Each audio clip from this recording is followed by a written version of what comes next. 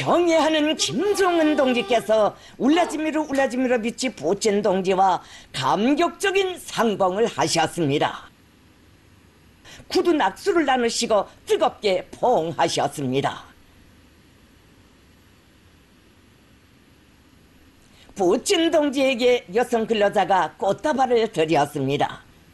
정부 부수상 알렉산드르 노바크 동지, 대통령 행정부 부책임자 겸 대통령 공보관 드미트리 페스코브 동지, 러시아 연방 대통령 대외정책 담당 보좌관 유리 우샤코브 동지, 국방상 안드레이 벨루우소브 동지, 운수상 로만 스타로보이트 동지와 울라지미르 울라지미로비치 뿌찐 동지는 평양 방문이 이루어진 기쁨을 피력하면서 김정은 동지께서 비행장에까지 나오시어 따뜻이 맞이해 주신 데 대하여 깊은 사의를 표시했습니다.